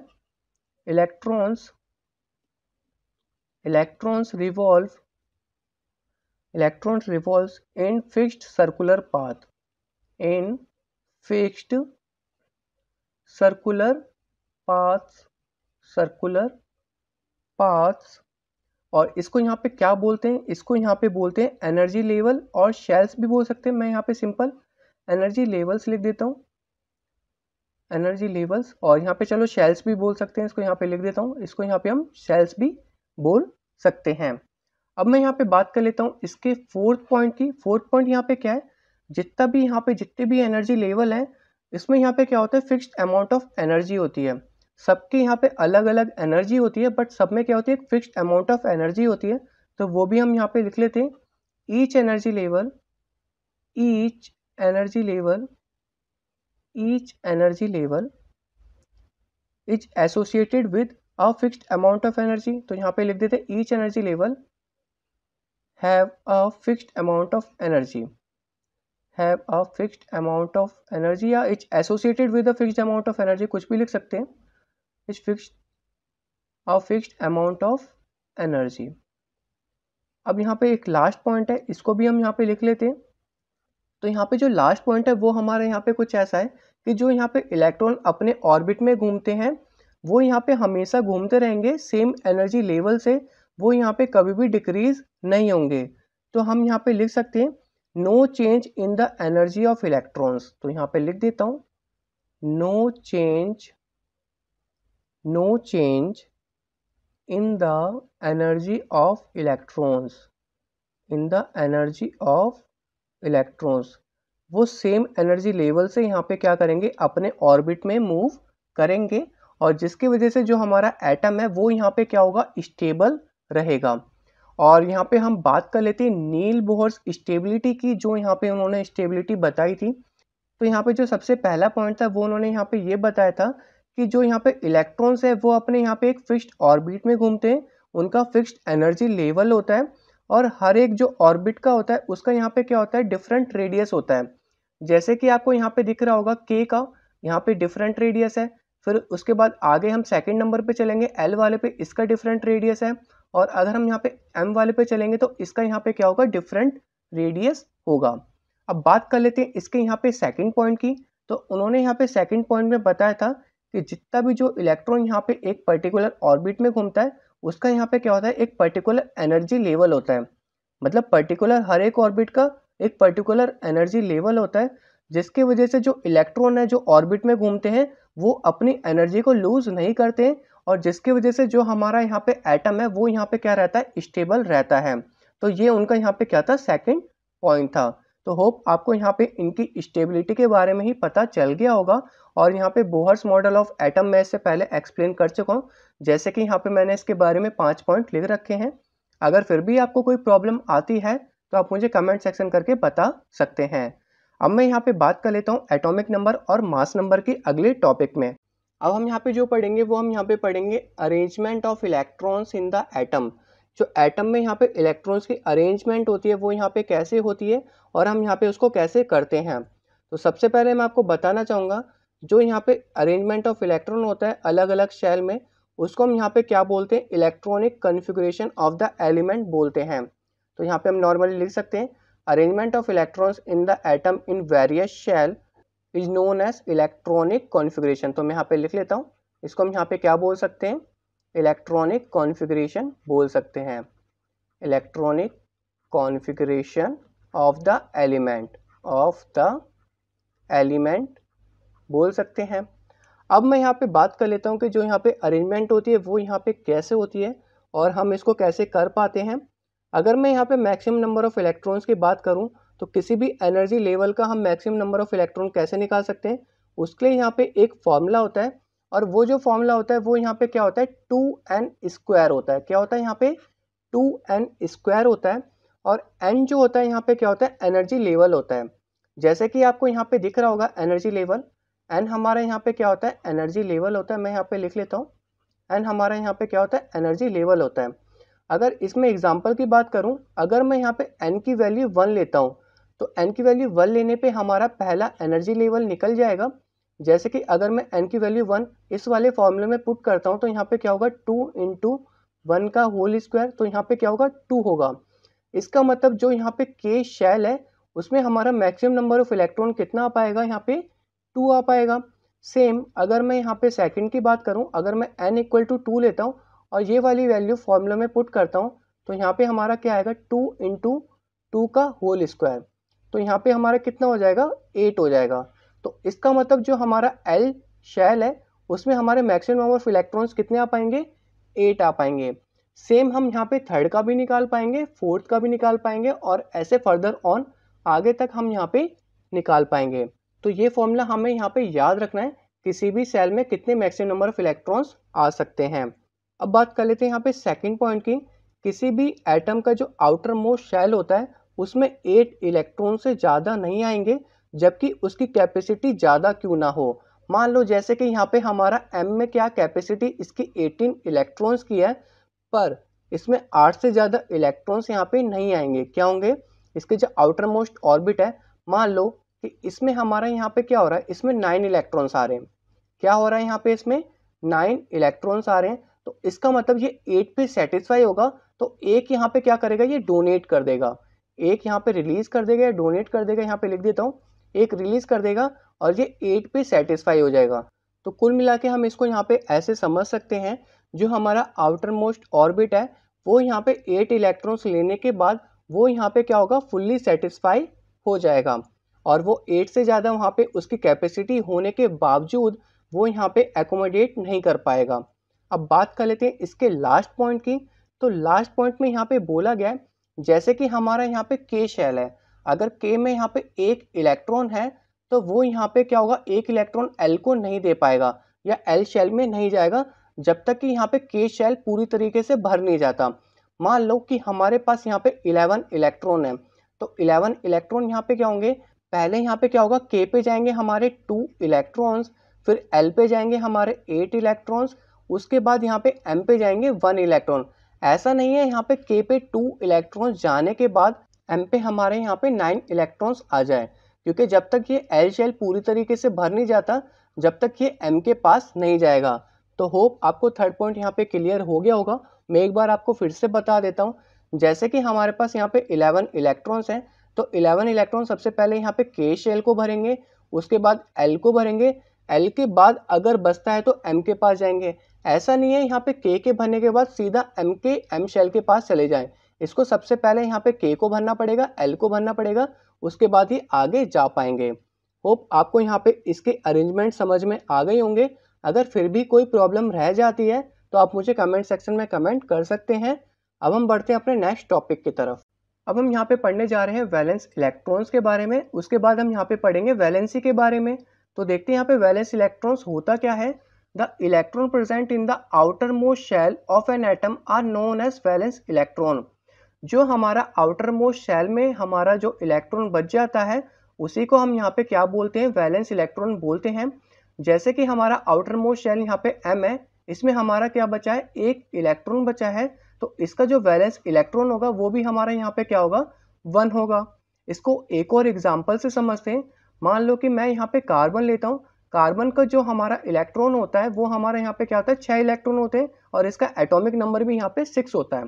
तो इसमें जो यहाँ पे शैल भरेंगे वो यहाँ पे कुछ इस प्रकार भरेंगे के और एल के यहाँ पे दो भरेंगे क्योंकि यहाँ पे के की जो हाईएस्ट कैपेसिटी है वो टू इलेक्ट्रॉन्स की है और एल की यहाँ पे जो हाईएस्ट कैपेसिटी है वो यहाँ पे एट है पर हमारे पास इतने इलेक्ट्रॉन्स तो बचेंगे नहीं हमारे पास यहाँ पे सिर्फ़ चार बचेंगे तो इसका मतलब जो इसका वैलेंस इलेक्ट्रॉन होगा वो यहाँ पे क्या होगा चार होगा चार इसका यहाँ पे क्या होगा वैलेंस इलेक्ट्रॉन होगा और अब हम यहाँ पे बात कर लेते हैं इसके वैलेंसी की तो वैलेंसी यहाँ पे क्या होती है? कभी कभी वैलेंस इलेक्ट्रॉन की सेम होती है और कभी कभी यहाँ पे डिफरेंट होती है। हम यहाँ पे दोनों की बात करेंगे। सबसे पहले मैं यहाँ पे इसकी डेफिनेशन पढ़ लेता हूँ। The capacity of an atom of an element to form chemical bonds is known as its valency तो यहाँ पे क्या होती है? वैलेंसी उसमें यहाँ पे कैपेसिटी होती है केमिकल बॉन्ड बनाने की। उसी को यहाँ पे क्या बोलते हैं? वैलेंसी बोलते हैं। इसको हम यहाँ पे बेटर एग्ज़ाम्पल से समझ पाएँगे। जैसे कि अगर मैं यहाँ पे इसकी वैलेंसी की बात करूँ कार्बन की तो कार्बन में यहाँ पे वैलेंस इलेक्ट्रॉन तो यहाँ पे क्या होता है? सिक्स होता है। बट इसकी वैलेंसी यहाँ पे क्या होगी? इसकी वैलेंसी यहाँ पे इसको सेटिस्फाई कितने इलेक्ट्रॉन्स पे हो रहा है? उस पर डिपेंड करती है। जैसे कि हमारा यहाँ पे एल शेल है। एल यहाँ पे क्या करेगा? फोर इलेक्ट्रॉन्स लेगा या फोर इलेक्ट्रॉन्स यहाँ पे लूज करेगा जब तो यहाँ पे सेटिस्फाई हो पाएगा। क्योंकि जो हमारा एल सेल है, इसमें हमारा एट इलेक्ट्रॉन्स होना ज़रूरी है। या ये तो बिल्कुल ज़ीरो हो जाए या इसको एट कर ले। तो इसकी जो यहाँ पे वैलेंसी होगी, वो यहाँ पे क्या होगी? फोर होगी। इसकी वैलेंसी यहाँ पे क्या होगी? फोर होगी। और यहाँ पे नॉन मेटल और मेटल पे भी एक स्पेसिफिक पॉइंट है, वो मैं आपको बाद में बताऊँगा। उससे पहले मैं यहाँ पे एक और एग्जांपल ले लेता हूँ। जैसे कि मैं यहाँ पे सोडियम की बात कर लेता हूँ। सोडियम मतलब इसका सिंबल एन होता है। इसका जो यहाँ पे इलेक्ट्रॉन होता है, वो यहाँ पे इलेवन होता है। इलेक्ट्रॉन मतलब यहाँ पे एटॉमिक नंबर के बराबर ही होगा। तो इलेवन इसका एटॉमिक नंबर और इलेक्ट्रॉन दोनों ही होता है तो यहाँ पे क्या होगा? इसमें के एल एम तो इसमें जो हमारा के शेल है, वो हमारा कितना भरेगा टू। एल हमारा यहाँ पे कितना भरेगा एट।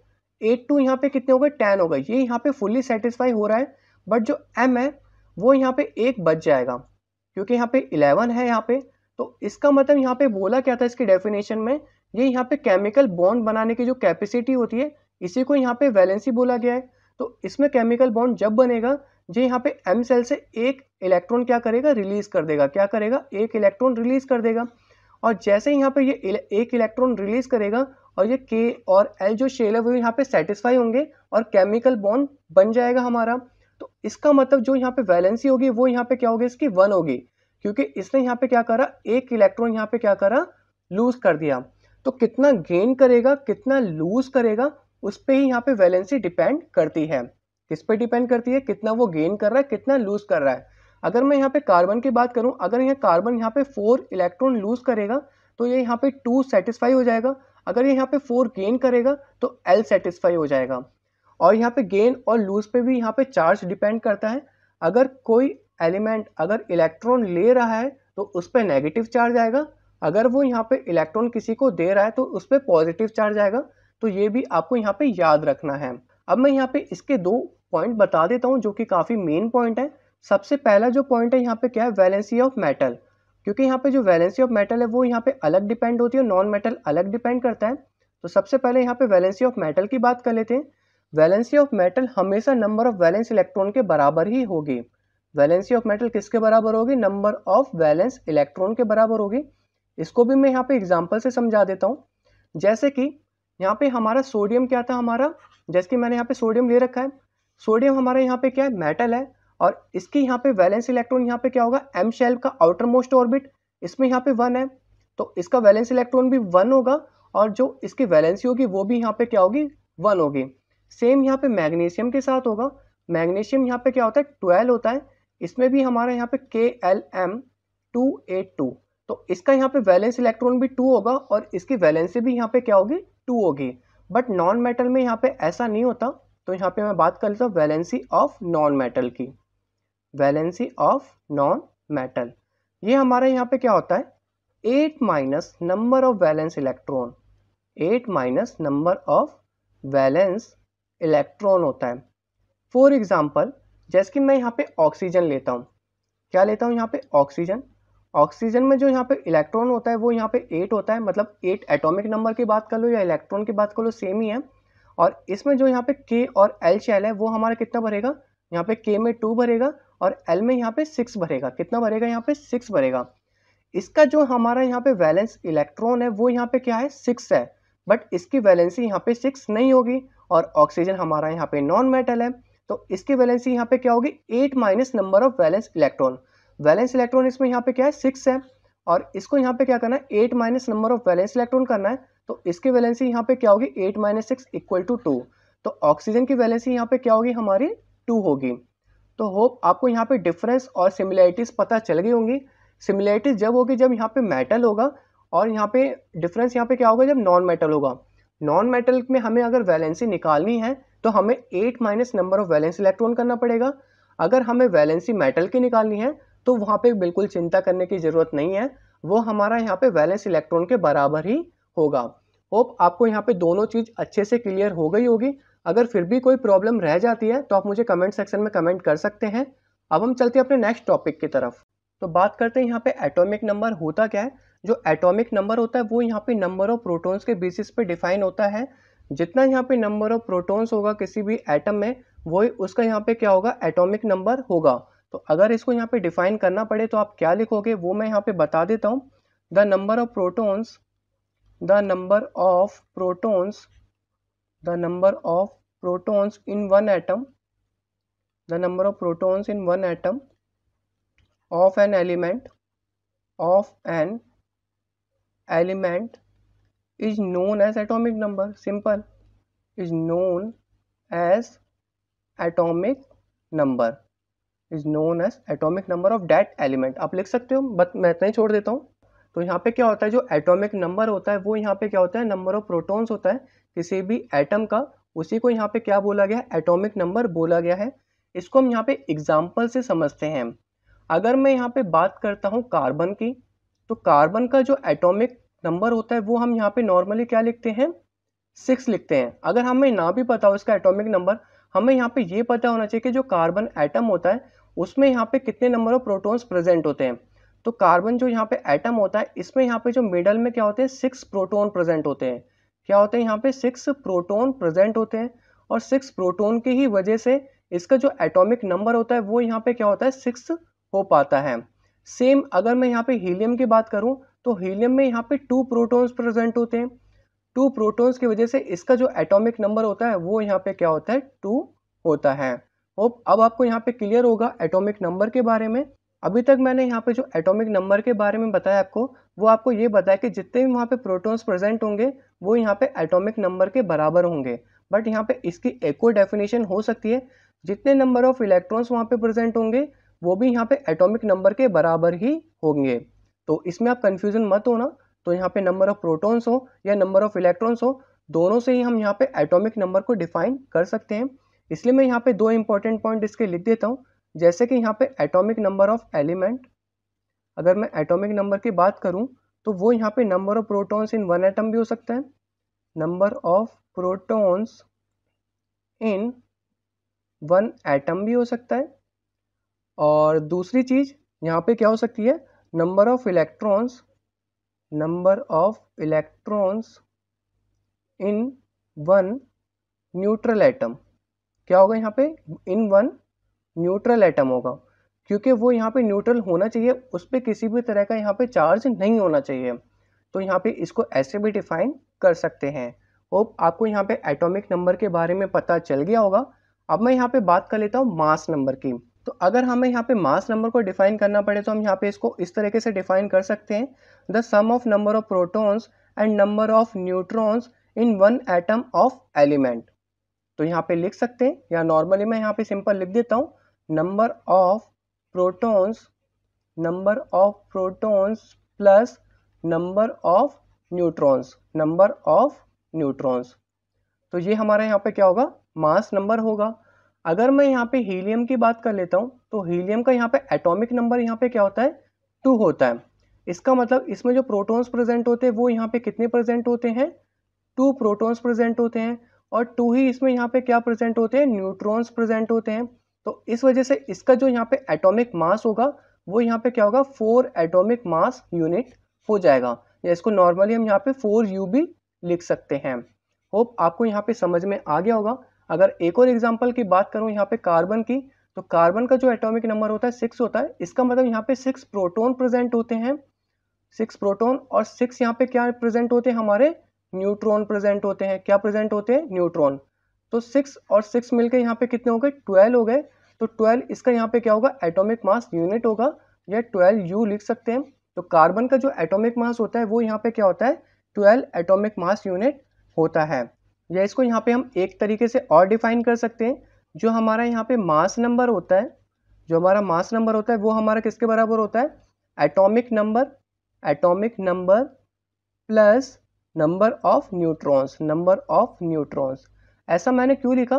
क्योंकि जो यहाँ पे एटॉमिक नंबर होता है, वो यहाँ पे नंबर ऑफ़ प्रोटॉन्स के बराबर ही लेते हैं। Protons equal to atomic number और अगर मैं यहाँ पे इन दोनों के बीच के रिलेशनशिप की बात करूँ कि इसको हम यहाँ पे कैसे लिखते हैं? दोनों को अगर हमें एक साथ लिखना पड़े तो हम यहाँ पे कैसे लिखते हैं? तो सबसे पहले हम यहाँ पे लिखेंगे सिंबल ऑफ़ एलिमेंट। क्या लिखेंगे हम यहाँ पे? सिंबल ऑफ़ एलिमेंट लिखेंगे और उसके बाद हम यहाँ पे सबसे ऊपर लिखेंगे मास नंबर। क्या लिखेंगे यहाँ पे? Mass number. और नीचे हम यहाँ पे लिखेंगे एटॉमिक नंबर। क्या लिखेंगे यहाँ पे? Atomic number. फॉर एग्ज़ाम्पल हमें यहाँ पे कार्बन का लिखना है तो कार्बन का जो मास नंबर होता है वो हमारा यहाँ पे क्या होता है ट्वेल्व होता है और एटॉमिक नंबर यहाँ पे सिक्स होता है होप आपको यहाँ पे समझ में आ गया होगा दोनों के बीच का रिलेशनशिप और अब हम चलते हैं अपने नेक्स्ट टॉपिक की तरफ़ अब जो हम यहाँ पे पढ़ने जा रहे हैं वो है हमारा यहाँ पे आइसोटोप्स एंड आइसोबार्स के बारे में तो सबसे पहले मैं यहाँ पे आइसोटोप्स की बात कर लेता हूँ इसका यहाँ पे एक सिंपल डेफिनेशन है उसको मैं यहाँ पे डिवाइड करके लिखूँगा तो सबसे पहले मैं यहाँ पे आइसोटोप्स की बात कर लेता हूँ आइसोटोप जो होता है यहाँ पे क्या होता है सेम एलिमेंट होता है क्या होता है, यहाँ पे सेम एलिमेंट होता है। सेकेंड चीज़ यहाँ पे क्या होती है इसमें? सेम एटॉमिक नंबर मतलब एलिमेंट भी सेम होता है एटॉमिक नंबर भी सेम होता है। बट यहाँ पे एक चीज़ डिफरेंट होती है और वो यहाँ पे क्या होता है? इसका मास नंबर इसमें यहाँ पे क्या होता है? डिफरेंट मास नंबर होता है। क्या होता है? डिफरेंट मास नंबर होता है डिफरेंट मास नंबर जैसे कि आपको यहाँ पे डायग्राम में दिख रहा होगा, ये जो यहाँ पे जो डायग्राम है, ये यहाँ पे किसके हैं? क्लोरीन आइसोटोप के हैं। क्लोरीन 35 एंड क्लोरीन 37 तो ये क्लोरीन 35 और 37 ये डिफरेंट मास के क्यों हो पाए? क्योंकि इसमें जो प्रोटोन होता है, वो तो यहाँ पे क्या होता है? सेम होता है। दोनों में यहाँ पे 17 नंबर ऑफ़ प्रोटोन प्रेजेंट है बट यहाँ पे डिफरेंट क्या है? डिफरेंट यहाँ पे क्या है? एटीन न्यूट्रॉन है और इस वाले में यहाँ पे क्या है? ट्वेंटी न्यूट्रॉन प्रेजेंट है, जिसकी वजह से जो इनका एटॉमिक मास है, वो यहाँ पे डिफरेंट है। पहले वाले का जो एटॉमिक मास है, वो यहाँ पे थर्टी फाइव है एंड दूसरे वाले का यहाँ पे क्या है? थर्टी सेवन है। तो इसको हम यहाँ पे ध्यान से समझते हैं। जो आइसोटोप्स होता है, उसमें एलिमेंट भी सेम होता है एटॉमिक नंबर भी सेम होता है बट जो मास नंबर होता है, वो यहाँ पे डिफरेंट होता है because of different number of neutron तो यहाँ पे प्रेजेंस ऑफ़ न्यूट्रॉन्स पे डिपेंड करता है तो आप यहाँ पे लिख सकते हो डिफरेंट नंबर ऑफ़ न्यूट्रॉन्स की वजह से होता है डिफरेंट नंबर ऑफ़ न्यूट्रॉन्स की वजह से यहाँ पे क्या होता है, इसका जो डिफरेंट मास नंबर होता है। क्योंकि जो प्रोटॉन्स प्रेजेंट होते हैं, वो यहाँ पे सेम होते हैं और मास नंबर को जब भी हम कैलकुलेट करते हैं, वो यहाँ पे number of protons plus number of neutron से ही करते हैं और यहाँ पे न्यूट्रॉन की संख्या वेरी करने की वजह से इसका एटॉमिक मास क्या होता है डिफरेंट होता है। अब मैं यहाँ पे बात कर लेता हूँ आइसो बार्स की। किसकी बात कर लेता हूँ? आइसो बार्स की, वो मैं यहाँ पे नेक्स्ट पेज पे कर लेता हूँ। अब हम यहाँ पे बात कर लेते हैं आइसो बार्स की। जो आइसो बार्स होते हैं, वो यहाँ पे क्या होता है, इसको हम यहाँ पे पढ़ लेते हैं। जो आइसो बार्स होते हैं, इसको भी मैं यहाँ पे पार्ट वाइज डिवाइड करूँगा। तो सबसे पहली चीज़ यहाँ पे क्या होता है, जो इसका मास नंबर होता है, वो यहाँ पे क्या होता है सेम होता है। तो यहाँ पे मैं लिख देता हूँ same mass number same mass number हो रहा है। सेकेंड चीज़ यहाँ पे क्या होती है सेकेंड चीज़ यहाँ पे क्या होती है डिफरेंट एटॉमिक नंबर होता है। क्या होता है डिफरेंट एटॉमिक नंबर होता है डिफरेंट एटॉमिक नंबर और जो एलिमेंट होता है, वो भी यहाँ पे क्या होता है? डिफरेंट होता है। Different elements. तो इसमें सिर्फ़ एक ही चीज़ सेम होती है, वो है हमारा यहाँ पे मास नंबर। फॉर एग्ज़ाम्पल अगर मैं यहाँ पे अर्गन और कैल्शियम की बात करूँ एग्ज़ाम्पल ज़रूरी है। जैसे कि मैं अगर यहाँ पे अर्गन की बात करूँ और कैल्शियम की बात करूँ तो अर्गन और कैल्शियम का जो यहाँ पे एटॉमिक मास होता है, वो यहाँ पे क्या होता है? 40 होता है। इसका भी यहाँ पे क्या होता है? 40 यू होता है। या ए एम यू भी लिख सकते हैं एटॉमिक मास यूनिट या नॉर्मली यू भी लिख सकते हैं। बट इसका जो यहाँ पे एटॉमिक नंबर होता है, इसका यहाँ पे 18 होता है और कैल्शियम का यहाँ पे क्या होता है 20 होता है। और ये एलिमेंट भी डिफरेंट है। तो आइसोबार्स को यहाँ पे सिंपल डिफाइन कर सकते हैं। इसमें सेम मास नंबर होता है डिफरेंट एटॉमिक नंबर होता है डिफरेंट एलिमेंट्स होता है। और ये आपको एग्ज़ाम्पल से अच्छे तरीके से याद होगा, जैसे कि हम यहाँ पे अर्गन और कैल्शियम की बात करते हैं। ये हमारे यहाँ पे क्या है डिफरेंट एटॉमिक नंबर है डिफरेंट एलिमेंट्स है बट इनका दोनों का जो है 40 एटॉमिक मास यूनिट होता है। मतलब जो मास नंबर होता है, वो यहाँ पे दोनों में सेम होता है। और यहाँ पे एक और चीज़ बताना चाहूँगा, जो हमारा आइसोटोप्स होता है, उसमें यहाँ पे कुछ यूजेस भी हमें कभी कभी पूछ लेते हैं। तो आइसोटोप्स के यहाँ पे पहला जो यूज़ है, वो यहाँ पे क्या है? जो आइसोटोप यूरेनियम है यूरेनियम 235 मैं यहाँ पे लिख देता हूँ। जो यहाँ पे यूरेनियम 235 है वो हमारा किसमें काम आता है? न्यूक्लियर रिएक्टर में काम आता है। किसमें काम आता है? न्यूक्लियर रिएक्टर में। न्यूक्लियर रिएक्टर मतलब जो इलेक्ट्रिसिटी प्रोड्यूस करते हैं, जो टरबाइन चलाते हैं, उसको यहाँ पे न्यूक्लियर रिएक्टर बोला जाता है। उसमें एक तरह का ये फ्यूल के तरह काम करता है। किसके तरह काम करता है? फ्यूल के तरह काम करता है। सेकेंड जो चीज़ है, वो हमारा किसमें काम आता है? आइसोटोप ऑफ़ कोबाल्ट कोबाल्ट का जो आइसोटोप होता है, वो किसमें काम आता है? हमारा ट्रीटमेंट ऑफ़ कैंसर में। किसमें काम आता है? ट्रीटमेंट ऑफ़ कैंसर में काम आता है। ट्रीटमेंट ऑफ़ कैंसर में काम आता है कोबाल्ट का आइसोटोप और जो तीसरा है हमारा यहाँ पे आइसोटोप ऑफ़ आयोडीन। आयोडीन का जो आइसोटोप है, वो हमारा किसमें काम आता है? ट्रीटमेंट ऑफ़ गोइट्री किसका? गोइट्री जो यहाँ पे गले में यहाँ पे बहुत बड़ा फूल जाता है सूजन सी आ जाती है, वो आयोडीन की कमी की वजह से आती है तो ये यहाँ पे क्या करता है? इसका गोइट्री का ट्रीटमेंट करता है। वो जो बीमारी होती है, जो गले में सूजन होती है, उसको यहाँ पे गोइट्री करते हैं और वो डिफिशियंसी ऑफ़ आयोडीन की वजह से होता है। होप आपको यहाँ पे आइसोबार्स और आइसोटोप्स के बारे में समझ में आ गया होगा। इस चैप्टर के हमारे सारे टॉपिक खत्म हो चुके हैं और सारे टॉपिक का यहाँ पे मैं डिस्क्रिप्शन में आपको लिंक दे दूँगा।